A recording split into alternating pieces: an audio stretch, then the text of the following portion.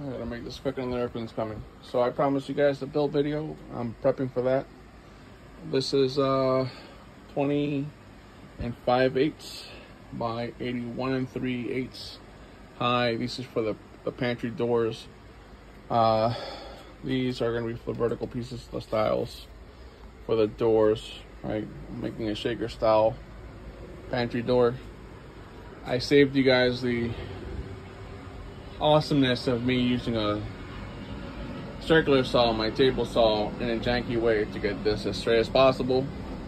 Um, this is the premium grade, if you will, pine from Lowe's.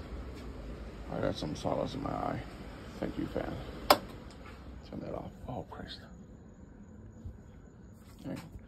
So those are cut at 81 and 3 eighths inches, right? So two of them, so I can get two pieces out of them when I rip them into quarter inch thick pieces.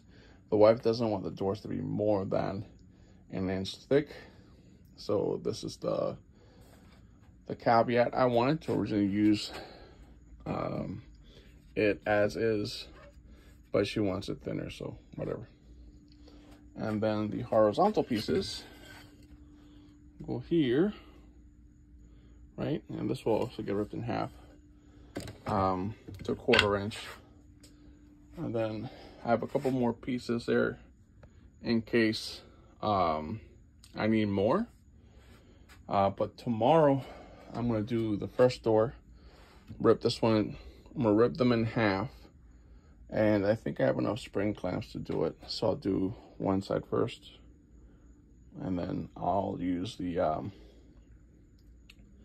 brad nailer with my inch long, not inch because I'll go through the wood. Uh, I'll use just glue and clamps to hold it in place. Um, and that way I'll do the opposite side.